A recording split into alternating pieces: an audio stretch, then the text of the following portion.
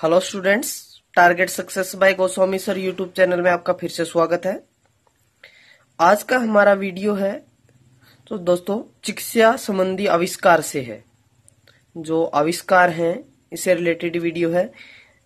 कोई भी एग्ज़ाम है कंपटीशन एग्ज़ाम है एसएससी है रेलवे एचएसएससी है, इस एग्ज़ाम में एक आविष्कार से रिलेटेड क्वेश्चन पूछा जाता है। तो इसमें मैंने कुछ आविष्कार कंप्लीट किए हैं, जो आपके एग्ज़ाम पॉइंट ट्यूब से इंपॉर्टेंट रहेंगे।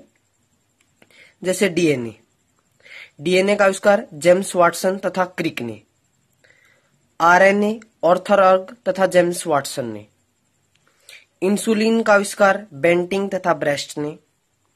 एंटीसेप्टिक सर्जरी का जोसेफ लिस्टर ने।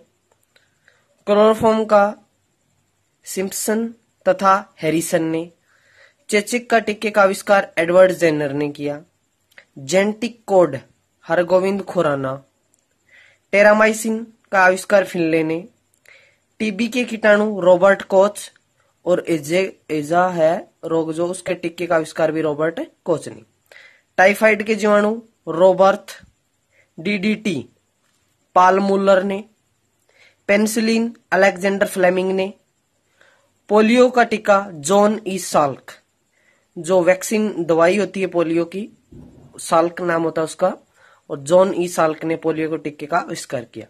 बीसीजी यूरिन कालमेट, मलेरिया परजीवी, रोनाल्ड रोस, रकत संचरण, विलियम हार्वे, रकत परिवर्तन, कार्ल लैंडस्टीनर, स्ट्रेप्टोसमाइसिन, बॉक्समैन, और हाइड्रोफोबिया, रेबीज, दोनों का, लुइस, लुई पास्चर।